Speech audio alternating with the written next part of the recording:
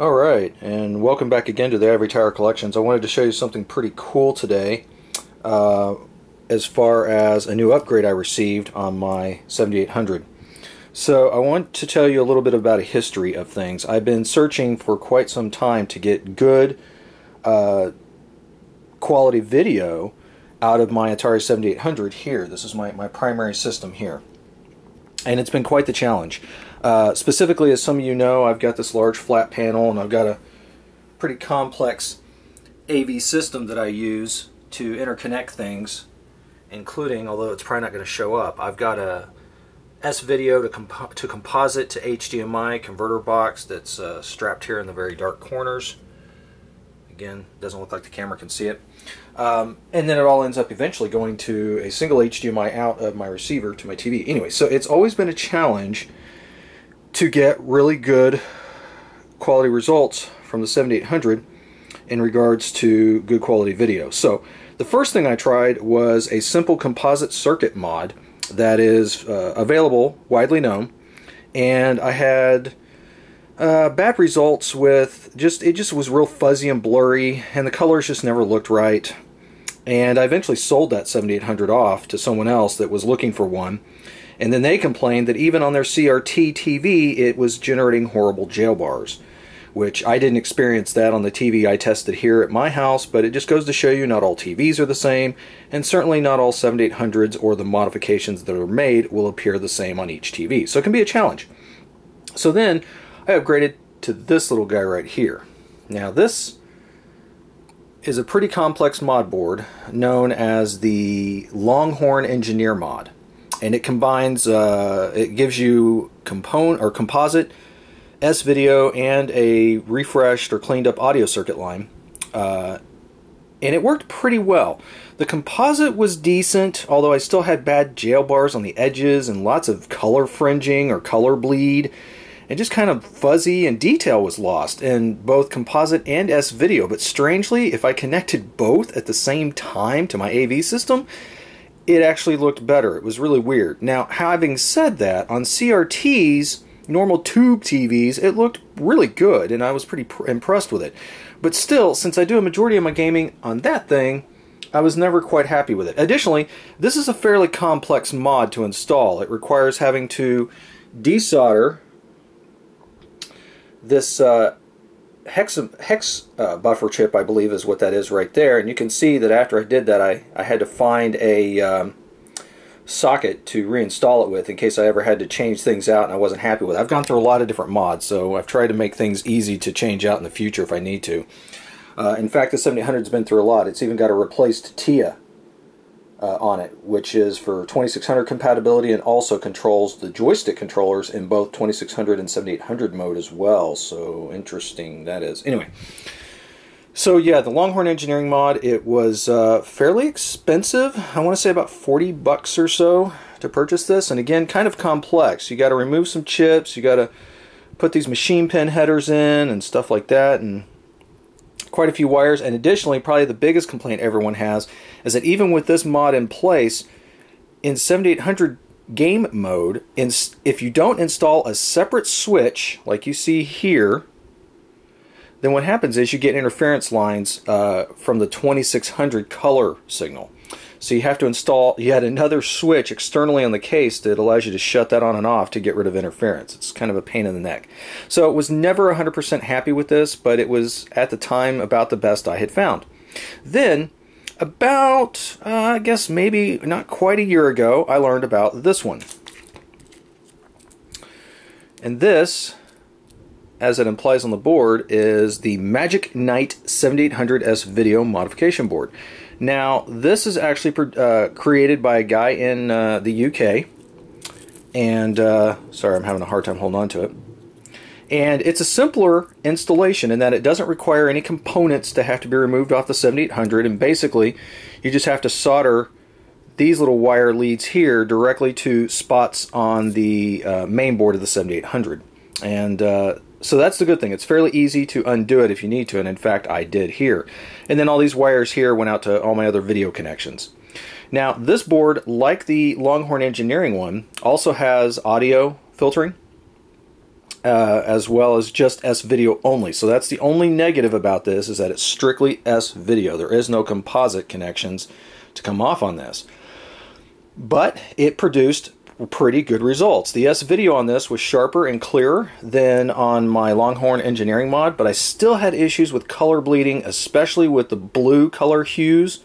And uh, some games were very notorious of showing this, like Commando and uh, Dark Chambers. Plus, I still had jail bars on the edges, and it was just driving me kind of crazy. But you can see that it's a much less complicated uh, PCB and uh, much easier to install because you don't have to do any permanent modifications to the 7800 to use it. Which brings us to today. Now, about a month ago, I guess it was, I learned about another mod that was being developed and uh, had learned about it on the Atari Age boards. And it is called the UAV. And it's created by Atari user Bryan, spelled B R Y A N, and he's actually here in the States. And he developed the UAV not specifically for the 7800, but for the Atari 8 bit computer line.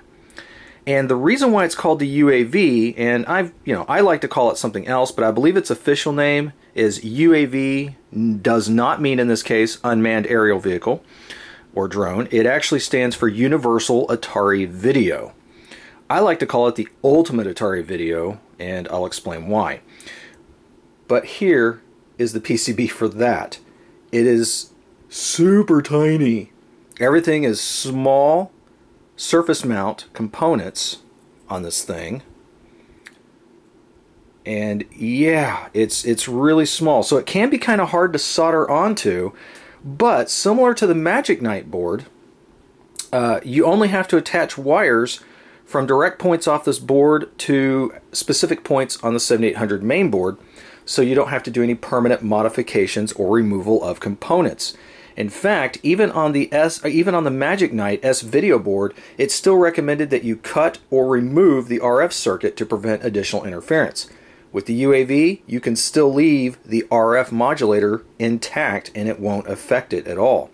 Because what this does is directly capture the video signals off of the video chips inside the Atari and puts them through a new series of buffers and encoders and gives you separate outputs. So basically, this is completely isolated from everything else in the Atari when it's used, so it, it's not subject to the other interference.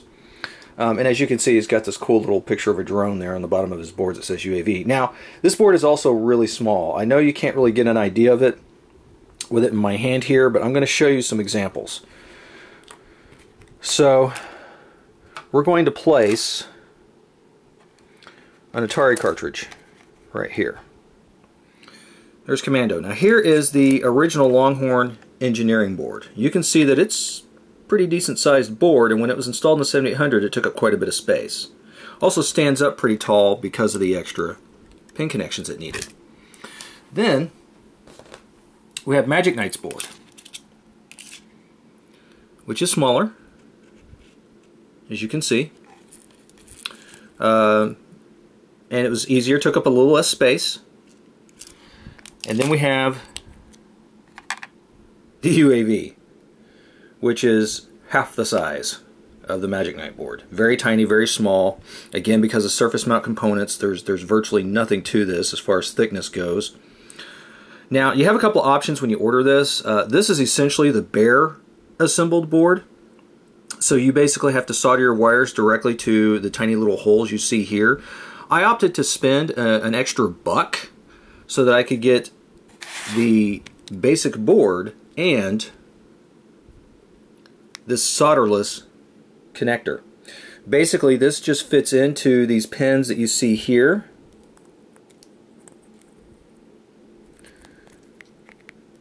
I said solderless. You still have to solder the connector to the tiny little UAV board, but it's solderless because all of the video output lines are on here, and you can just take the leads the wire ends off of your um, S-video composite circuits and just put them inside these holes and screw them down to secure them. So it makes it easy to remove and take the board out if you need to, um, aside from the solder points that you have here. But when installed, it really doesn't take up much room at all, as you can see here. Now you can see that I've got mine uh, actually installed and sitting in place of where the RF modulator used to be. That's because again, the previous two mods that I've used required the RF modulator to either be cut and made deactive uh, or just remove it entirely. And I figured if you can't have the RF modulator active anyway, then might as well remove it because it makes a perfect place to install these mod boards. So originally, uh, my uh, Magic Knight board was in that spot, and now my UAV sits there. And you can see that, like the Magic Knight board I spoke of, it just connects directly to resistor point locations uh, on the 7800. Yeah, my soldering's not the best on this, I'll be honest. Um, my hands are getting shakier and shakier by the month anymore, it seems like, so it's becoming more and more difficult for me to solder. Anyway, Additionally, this 7800's been through a lot. Uh, a lot of those resistors have actually had to be replaced because the Longhorn engineering mod required you to remove uh, about a half a dozen different resistors off the board or cut them loose or what have you.